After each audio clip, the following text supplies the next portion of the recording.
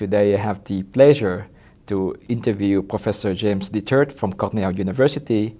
Uh, Professor Detert is known as an expert on upward communication and how leadership can facilitate uh, upward communication. My first question, um, Jim, is that uh, in this day, almost every organizations uh, expound the virtues of communication, communication, communication, sharing knowledge, uh, transparency, honesty. But yet in your research, you, you find that in realities, right, uh, it's, it's not quite that way. Could you elaborate on that?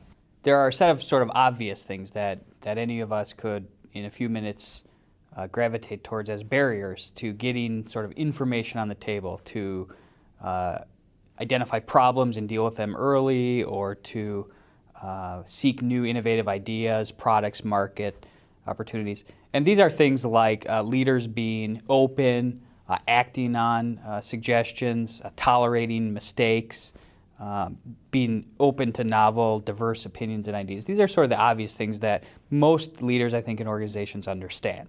Uh, acting welcoming helps, uh, and acting in sort of abusive, abrasive, or uninterested ways harms. Um, so that's the starting point. I think sort of overtly intolerable or abusive behavior harms upward transmission of information in organizations. What my research is suggesting is that that's actually just the starting point. Uh, that's a necessary but insufficient condition for upward communication from subordinates to their authority figures in most organizations for a set of reasons. Uh, one is that even when leader behavior is pretty positive for open communication, often organizational systems or structures are not positive. Um, so can you elaborate on you know in, in, which way? What are the examples of systems and structures that are not uh, facilitating upward communication? First of all, simple sort of lack of accessibility to key decision makers. Uh, it's irrelevant uh, what knowledge I have as an employee what ideas, what observations about problems I have if I have no access to the people who are in a power to address. Yeah, it uh, takes too long to get an interview or an appointment via the CEO's secretary or, for Absolutely. example. Mm -hmm. uh, so simple access is, is the starting point.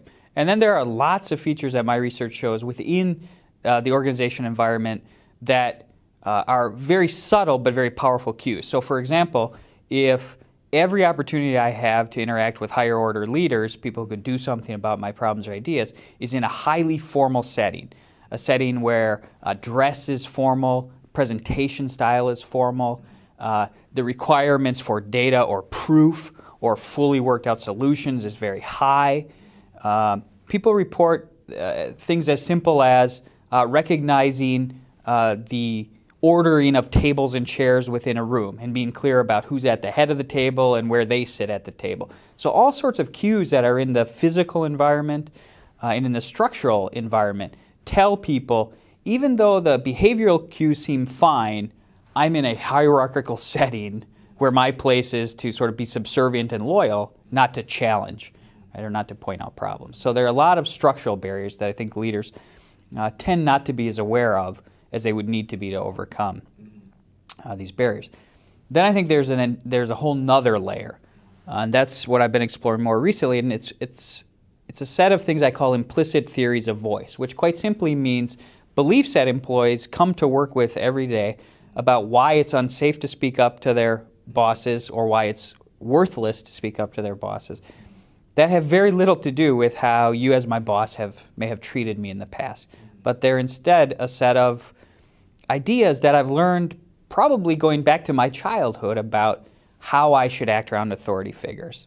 Uh, and my research shows that you may, in fact, as my, my current boss, uh, always been quite open to me, been quite tolerant to me, and never actually verbally signaled in any way, I don't want to hear the truth, or I don't want to hear it in certain venues, or I only want to hear it if it's about this or that. You may have never done those things, and yet I still filter what I tell you because I walk around with a set of beliefs that say he doesn't want to hear it or not in this setting or not in this context. And I think the challenge that creates for leaders is immense because it says not only do you have to attend to your obvious behavioral cues about what, you know, how to be open and welcoming, but I think you have to literally surface those beliefs, uh, which may mean things like uh, not only asking simply in a meeting for input, does anybody have ideas?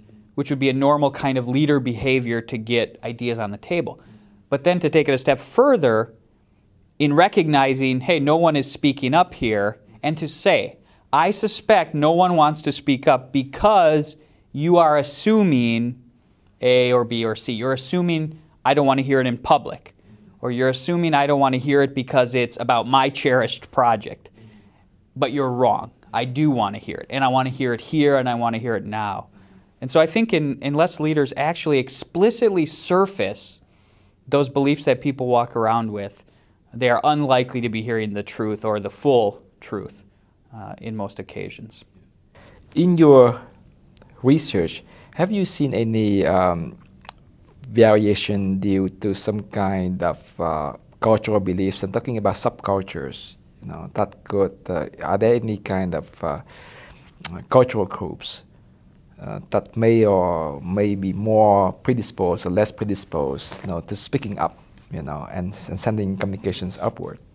I guess by cultural group, groups, let me let me take that at sort of two types or levels of culture. So I think clearly within organizations we can think of organizational subcultures, uh, and in fact, most of my research would suggest that despite uh, a dominant message perhaps coming down from the top, uh, often that message will be that it's not particularly safe or or that we're a pretty centralized organization and aren't particularly interested from below. There are nonetheless always subunits or subcultures in the organization where middle level managers have done really a marvelous job creating a culture that goes against that grain, mm-hmm. that says it's okay to speak up here, I want to hear the truth here. Uh, so I, I, think there are indeed subcultures within organizations. Uh, I've done some work uh, looking across national cultures. Uh, not enough to say definitively what those sort of cultural subgroups would be, but enough to say that even within uh, a similar organizational culture, I believe there are some uh, cultural differences. Uh, for example, cultures where power distance, uh, sort of more separation between levels of power within an organization, I think you may have a cultural propensity to be less willing to challenge authorities. Um, Interestingly, though, I, I think there are also within some of those most uh, hierarchically organized cultures, there are often some interesting release valves.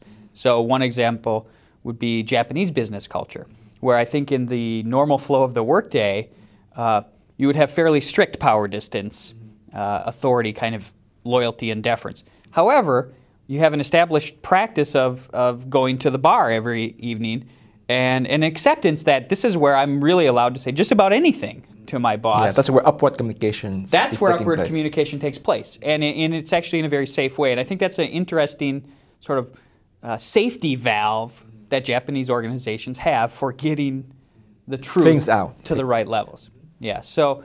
Uh, I do think there are, you know, there are undoubtedly some cultural differences, and there are probably also uh, what may be even more challenging is in the environment we live in today, where uh, it's not uncommon at all for people from two, three, four, eight uh, different cultures to be working together in teams, right, or project groups. And I think there you have not only cultural differences between subordinates uh, and authority figures from a different culture, but you have coworkers from many different cultures. And I think the communication norms there are clearly more complicated.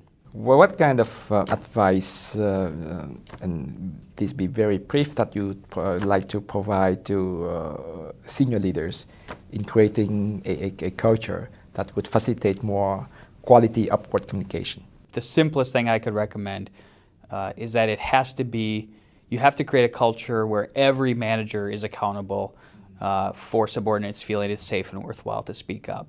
Uh, I think if you're serious about this, you make it part of your leadership evaluation and your leadership development program. Uh, I think too often organizations think they can create specific voice mechanisms, uh, whether it's ombuds people for ethical issues or HR systems for interpersonal or employee treatment issues, uh, or even sort of one-off, uh, you know, blue sky conferences. Uh, we have this notion that we can fix sort of routine day-to-day communication problems with structural solutions. I don't think that works. In fact, I think going back to where I started, I think those structural solutions actually just remind people You work in a hierarchical setting where it's normally not safe, so we've created a few safe places for you. I think if you really want people to feel safe and you want a culture where people feel safe, you make it every manager's job to be open and responsive to voice, and you hold them accountable for that, and you promote people based Oh, on based that on kind that, of behavior. Okay, most interesting. Thank you, Jim. You're welcome.